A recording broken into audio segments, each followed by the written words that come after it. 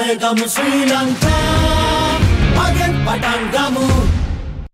ගේ තිබුණා හය මාත් ඉවතුනට ඊ හවස ගන්න ගන්න ගැටුණ උසාවියෙන් ඔට් ගිහින් හැප්පියා මේ පුලුවන් වෙලයි පොලිසියට කිව්වේ ඒක නත් මේ රෑ කියලා කිව්වා තාම හම්බුන්නේ තාම නෑ හොයාගන්න. පුතාගේ විරුද්ධ රස්සාව ජීවත් වුණේ හරි කොහොමද කොහොමද ජීවත් වුනේ? එයා තමයි ගෙදර බලාගත්ත ඔක්කොමනේ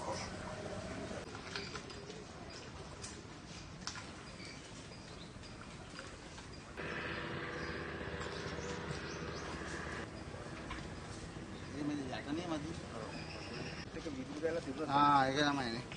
ආ මෙතන මිස්ට්‍රි නේ තියෙන්නේ. සංක පෙට්ටියක් තියන්න මෙතන ඉන්න කෙනෙක්.